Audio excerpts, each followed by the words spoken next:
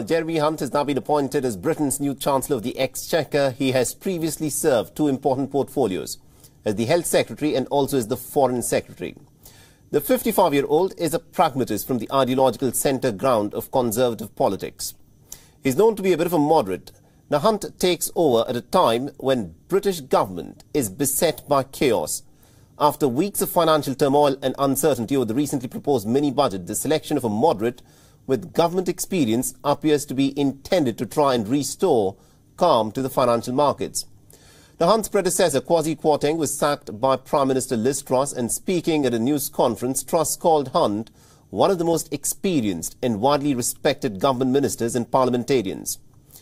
Now, the mild-mannered Chancellor has twice been unsuccessful in trying to become the party leader. Firstly, in 2019, when Jeremy Hunt had found himself on the sidelines after Boris Johnson defeated him. He then faced another failed leadership attempt this year. Now, the recent appointment is Hunt's first stint as a chancellor in his long political career.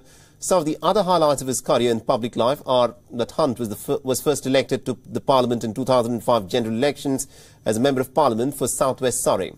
From 2005 till 2007, he was the Shadow Minister for Disabled People.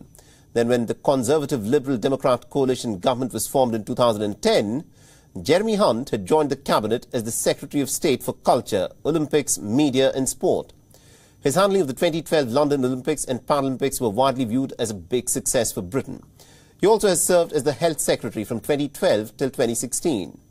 And in 2018, Jeremy Hunt became the Foreign Secretary, a post that he occupied until 2019. Now, during his tenure as a foreign secretary, he set up the Yemen peace talks. In 2016's EU referendum, Hunt was a Remain campaigner, but afterwards said that he would support Leave. He also chaired a parliamentary health committee during the pandemic. However, like any other politician, Jeremy Hunt has not been immune to controversies. He was under intense pressure to resign in 2012 over his contacts with Rupert Murdoch, during a phone hacking scandal involving the media mogul's empire. Now, apart from politics, Jeremy Hunt has also had a successful career as an entrepreneur as well. He set up Hotcourses, which puts prospective students in touch with universities and colleges.